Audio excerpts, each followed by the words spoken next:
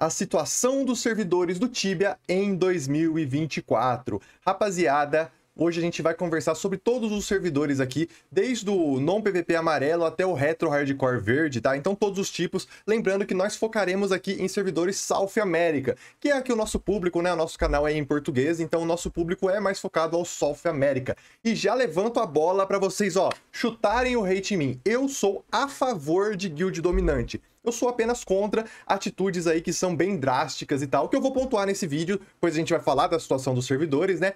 E existem aí certas atitudes e situações que eu sou totalmente contra e eu vou continuar me posicionando contra e dando voz contra elas. Então, bora pro vídeo. Trade é o lugar onde você pode anunciar que compra ou vende um item em qualquer servidor. Tá tendo dificuldade de encontrar ou vender aquele item? O Tibia Trade pode te ajudar de forma gratuita. Os servidores do Global tá muito massa de jogar, já já a gente vai falar de um por um, mas a minha recomendação aqui, caso você queira algo diferente, com uma progressão mais rápida em um servidor sério, o Rubinot é uma excelente opção. Inclusive, eu também estou jogando o Rubinot, beleza? Agora bora falar aqui de Globalzinho. Digamos que você tá pensando em voltar a jogar Tibia e tá escolhendo um char no bazar. Qual servidor você vai escolher e tal? Então, muito depende do seu perfil, certo? Se você, o que você quer do jogo? Você quer jogar para fazer um PVP? Você quer jogar para ser neutro? Você chega do trabalho e quer ter aquela gameplay tranquila e tá, beleza, o seu perfil vai ditar muita coisa, e durante esse vídeo você vai acabar entendendo.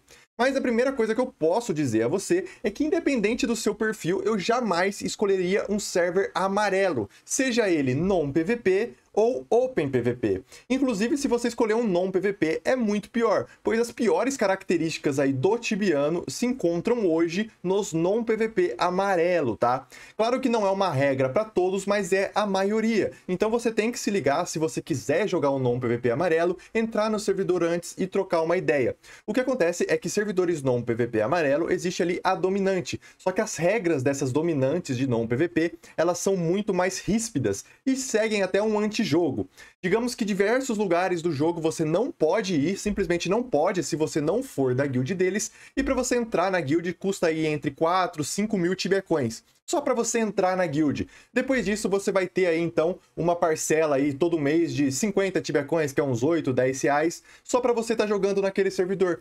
E embora pareça que, tipo, ah, eu chego do trampo, eu não quero estresse, eu não quero nada, existe opções melhores para você fazer a mesma coisa que não seja em non-PVP amarelo. Fora isso, os servidores non-PVP amarelo, eles são os mais cheios de todo o Tibia. Então, fora pessoas da guild, você vai encontrar pessoas que não são da guild, desrespeitando o Resps, entre aspas, porque elas são antidominantes. E vai ter também uma fila muito grande em spots que você queira utilizar por, por ser um servidor muito lotado. E aí não tem muito o que fazer. Então eu descartaria 100% a questão de não PVP amarelo, pois se encontra nessa exata situação que eu falei para vocês. Servidores cheios e com dominantes que te obrigam a fazer parte dela pagando uma alta taxa. Inclusive, é isso que eu sou extremamente contra, pois se um RESP se encontra livre, eu acredito que não há motivos para você proibir uma pessoa de jogar ali, que é o que acontece principalmente em non-PVPs amarelos. Mesmo que o spot esteja livre, você não pode ir lá, senão você toma um hunted dessa guild e eles ficam te seguindo durante o mapa inteiro até que você pague e entre na guild deles.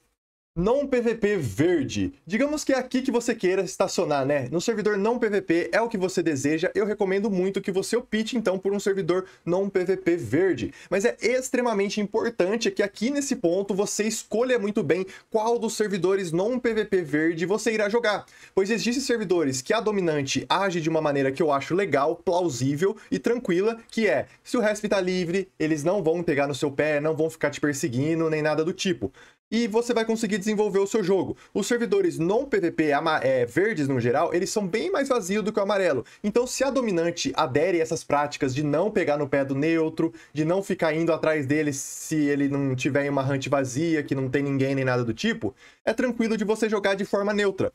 Caso você opte por ser de uma dominante, é a mesma coisa do não PVP. Você terá que pagar uma taxa para entrar na guild e depois você terá que pagar uma mensalidade. Acredito que o principal erro dos não Em um geral seja chamar essas taxas e também é, essas mensalidades de Guild Bank, pois não é nada para guild, né? Normalmente o Guild Bank sempre foi utilizado para defender a guild, para resolver assuntos da guild, mas em non-PVP, em um geral, não são todos, o Guild Bank, entre aspas, na verdade é dividido aí entre os líderes, acabam pegando um cascalho e colocando no bolso.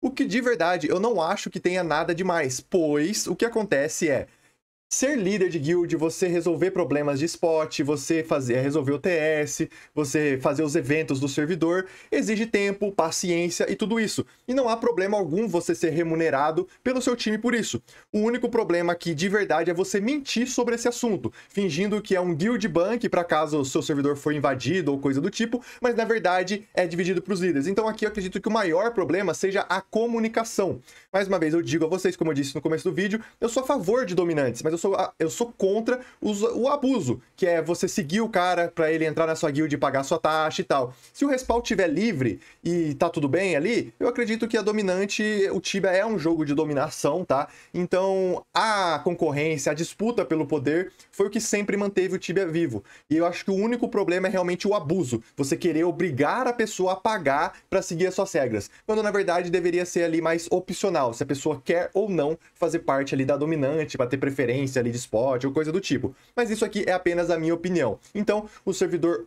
é, não PVP verde é um bom servidor caso você queira jogar neutro, mas procure bem qual open é, não PVP verde você vai escolher, para você não sofrer esses abusos aí, que aí é muito fora da curva e a CIP, na minha opinião, deveria intervir.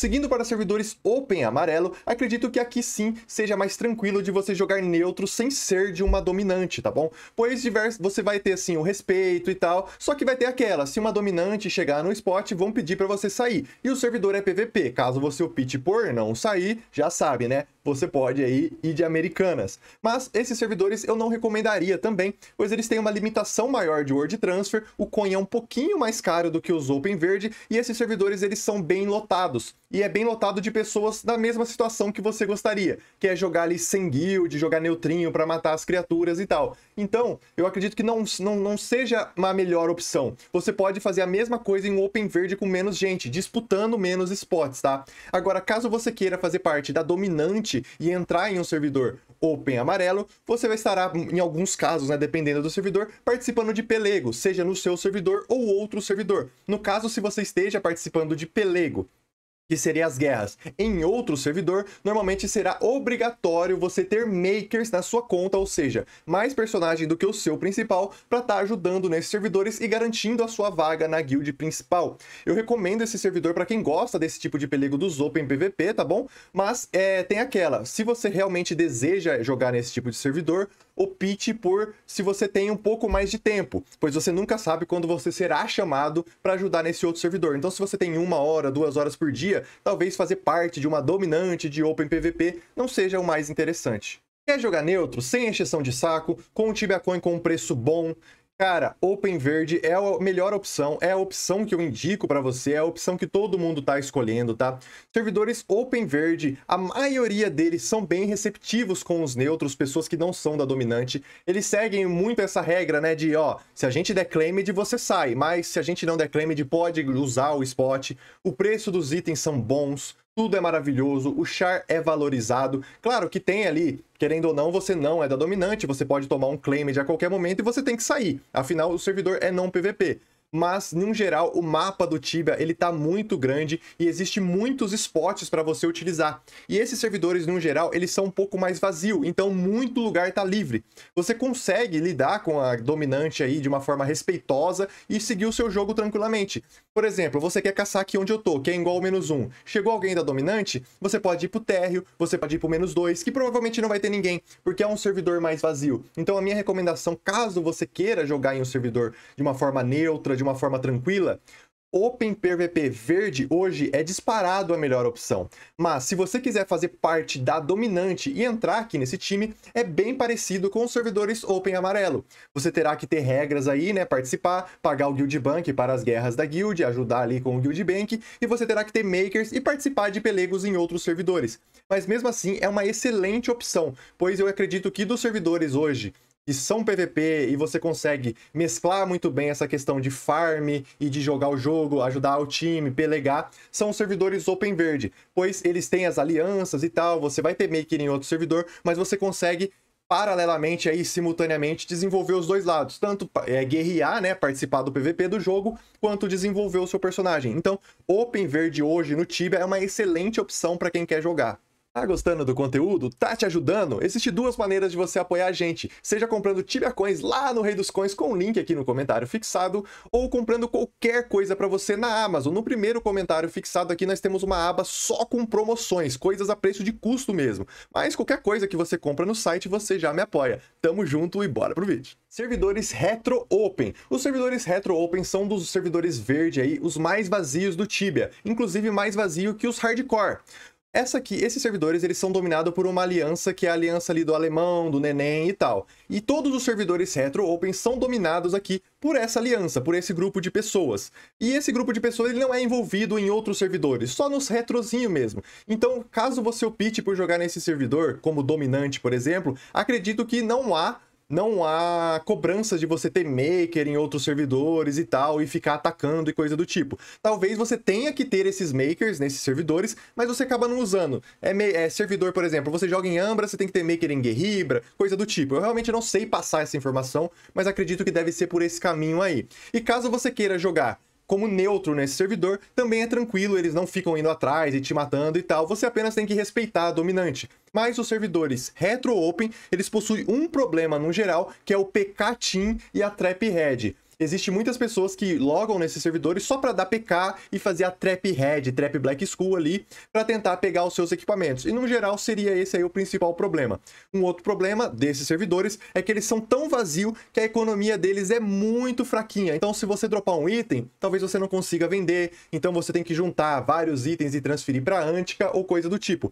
Mas em um geral aqui é um dos servidores mais tranquilos em relação à cobrança de metas ou coisa do tipo, tá bom? E finalizamos com os servidores Retro Hardcore PVP. É um servidor muito controverso, muita gente fala mal, mas aqui vamos deixar claro como significa e o que é o servidor Retro Hardcore. Primeira coisa que a gente tem que pensar é no nome. O nome é Retro Hardcore PVP, e esse nome não é à toa. Embora o servidor ele esteja dominado já faz um tempo, essa guild, esse time de Retro Hardcore PVP é uma guild de PVP, é uma guild de guerra. Então mesmo que esse servidor ele esteja tranquilo, você guerreará. Esse servidor está sempre ajudando outros servidores, então você terá metas de maker ou coisa do tipo. Lembrando que nesse servidor não há a possibilidade de você jogar neutro, apenas você estando na guild. E por isso gera uma controvérsia muito grande, que para jogar nesse servidor você tem que ter maker não sei aonde, você tem que ajudar não sei aonde, mas é um, é um time de PVP, guys. E por ser um time de PVP, e por ser um time de PVP, é normal esse tipo de cobrança. E você vai sim gastar boa parte do seu dia ajudando em PVP. Em contrapartida, esse é o servidor que possui a melhor remuneração financeira aí para quem busca renda com Tibia. Pois aqui a sua XP você consegue vender, a Tibia Coin é mais barata e os itens são valorizados. Então, conforme você está jogando aí, a sua hora vale mais. E é por isso que esse servidor é tão querido por muitos. E acaba também, querendo ou não, gerando esse hate. Pois o cara ele vem pro servidor para farmar e ele acaba sendo cobrado. Mas isso acontece devido à mente dele não ter entendido que é um servidor retro hardcore, é um time de guerra. Para esse servidor especificamente, eu recomendaria, caso você queira jogar aqui, eu nem sei se o recrutamento da guild está aberto, eu acho que não, mas caso tivesse, caso você tenha mais horas por dia para jogar. Para você jogar bem nesse servidor aqui, você tem que ter aí 4, 5 horas por dia, pois você tem que jogar as 3 horas do seu personagem, para você poder fazer aí bastante XP, bastante profit, valer a pena financeiramente, e você vai ajudar nesses outros servidores. Então, se você tem uma hora por dia, duas horas por dia, talvez esse servidor não se encaixe para você, pois essas obrigações vão comer o tempo que você tem para jogar e você vai estar tá sentindo assim, nossa, eu não tô jogando, não tô me desenvolvendo, mas na verdade não é o servidor que é ruim ou coisa do tipo. O seu perfil que acaba não se encaixando nesse tipo de server. E embora você ache que tipo assim, ah, mas não devia ser assim, não devia ser assado. Cara, aí vai da sua opinião. Eu acredito que para um servidor que se chama Retro Hardcore PVP, ele cobrar PVP não há nada demais. Então percebam como o Tibia Global, ele tá muito bom aqui no ano de 2024, ele tá crescendo, novos players estão chegando, porém acabam muito se frustrando e reclamando, falando que o jogo é tóxico tóxico, coisa do tipo, porque ele simplesmente não escolhe um servidor que atende a expectativa e o que ele quer com o game. Se você quer chegar do trabalho e jogar duas horinhas sem encheção de saco e tal, não faz sentido você participar de uma guild que tem pelego, que você tem que ajudar em outros servidores ou coisa do tipo. Você vai se frustrar e vai reclamar. Então, existe várias coisas. Existe sim aquele servidor tóxico cara, esse servidor, na minha opinião, a Cipsoft deveria intervir de alguma maneira, que impedem o jogador de jogar o jogo e expulsam jogadores do game, sendo extremamente power abuse e, sério, é só pra pôr dinheiro no bolso. Mas também existe o servidor que você é bem-vindo, que você vai jogar tranquilo e que você vai se divertir, fazer amizades, fazer bosses e coisa do tipo.